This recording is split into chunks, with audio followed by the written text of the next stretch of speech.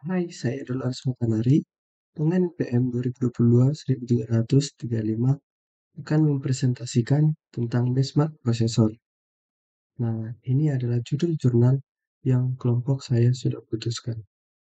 Di sini saya akan memaparkan hasil benchmark yang sudah kami lakukan. Tapi sebelum itu, kita harus tahu dulu apa sih itu prosesor dan apa sih itu benchmark dan metode apa-apa aja yang digunakan. Nah, kita masuk ke topik pembahasan yang pertama. Apa itu prosesor? Prosesor juga dikenal sebagai Central Processing Unit. Nah, prosesor ini sebuah komponen kunci dalam sistem komputer yang bertanggung jawab untuk menjalankan instruksi dan melakukan operasi matematika serta logika dasar. Prosesor ini juga menerima instruksi dari memori komputer, mengeksekusinya, dan menghasilkan output yang sesuai. Nah, prosesor terdiri dari beberapa komponen penting, termasuk unit kontrol, unit aritmatika atau logika, dan unit kendali memori. Unit kontrol ini bertanggung jawab untuk mengatur aliran data dan instruksi di dalam prosesor. Apa sih itu benchmark? Nah, benchmark secara umum merujuk pada proses perbandingan kinerja, praktik, atau standar antara entitas atau organisasi untuk mengidentifikasi kekuatan, kelemahan, potensi, dan perbaikan. Nah, menurut Dr. David Peterson, seorang ilmuwan komputer terkenal, mengatakan bahwa benchmarking prosesor membantu dalam memahami dan membandingkan kinerja komputasi termasuk kecepatan, daya, dan efisiensi energi. Nah, kita akan melihat uh, atau membahas apa aja metode yang digunakan. Di sini kelompok kami sudah memutuskan menggunakan dua metode benchmarking, yaitu pertama synthetic benchmark dan gaming benchmark. Nah, synthetic benchmark ini sering kali menguji aspek seperti kecepatan komputasi, pengolahan grafis, operasi floating point, dan transfer data. Contoh benchmark sintetis yang populer adalah spek CPU, Geekbench, dan Cinebench. Nah, metode yang kedua adalah gaming benchmark. Tes ini memantau kecepatan frame per detik atau FPS, responsivitas sistem, dan performa grafis saat menjalankan game yang populer. Contoh benchmark gaming yang sering dilakukan termasuk 3D Mark, PC Mark, dan game-game yang built-in benchmark seperti Shadow of Tomb Raider atau Far Cry 5. Nah, saya akan menjelaskan prosesor yang kami gunakan ketika melakukan benchmarking. Kami menggunakan dua prosesor yang berbeda. Yang pertama, Intel Core i7 Gen 11 dan prosesor Intel Core i5 Gen 12. Nah, di sini Intel Core i7 memiliki 4 core, 8 threads, 2,8 GHz clock speed, memori RAM 16 GB, speed memori 3200 MHz, dan cache 12 MB. Dan prosesor Intel Core i5 Gen 12 memiliki 12 cores di mana terdapat 4 performance core dan 8 efficiency cores, 16 thread, 3,1 GHz clock speed, memori RAM 24 GB, speed memori 3200 MHz, dan 18 MB cache. Nah, kita lanjut ke hasil synthetic benchmark menggunakan software Geekbench 5.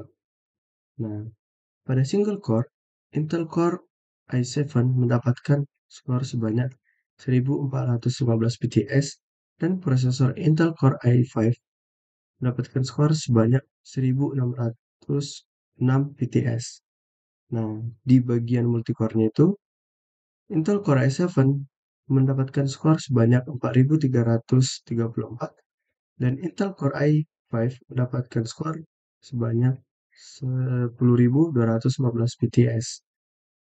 Dan selanjutnya pada software Cinebench R23 pada kategori single core prosesor Intel Core i7 Gen 11 mendapatkan skor sebanyak 1494 PTS dan prosesor Core i5 mendapatkan skor sebanyak 1687 PTS. Pada kategori multicore-nya, Intel Core i7 mendapatkan skor sebanyak 6017 PTS dan prosesor Intel Core i5 mendapatkan skor sebanyak 13192 PTS. Dan hasil sintetik benchmark terakhir pada prosesor plasma CPU kategori single core, prosesor Intel Core i7 Gen 11 mendapatkan skor sebanyak 2827 PTS dan prosesor Intel Core i5 Gen 12 mendapatkan skor sebanyak 3543 PTS. Dan pada kategori multicore-nya, prosesor Intel Core i7 mendapatkan skor sebanyak 10.347 PTS dan prosesor Intel Core i5 Gen 12 mendapatkan skor sebanyak 21.698 PTS. Nah, jadi pada hasil sintetik benchmark ini kita dapat melihat bahwa Intel Core i5 itu lebih unggul dan lebih mendapatkan lebih banyak skor skor maaf skor dari prosesor daripada prosesor Intel Core i7 Gen 11. Nah, kita lanjut pada hasil gaming benchmark. Nah, di sini kelompok saya menggunakan tiga game, yaitu GTA 5, Valorant, dan Forza Horizon 4. Nah, pada game GTA 5, Intel Core i5 Gen 12 mendapatkan skor FPS sebanyak 107 FPS, sedangkan prosesor Intel Core i7 hanya mendapatkan 50 FPS saja.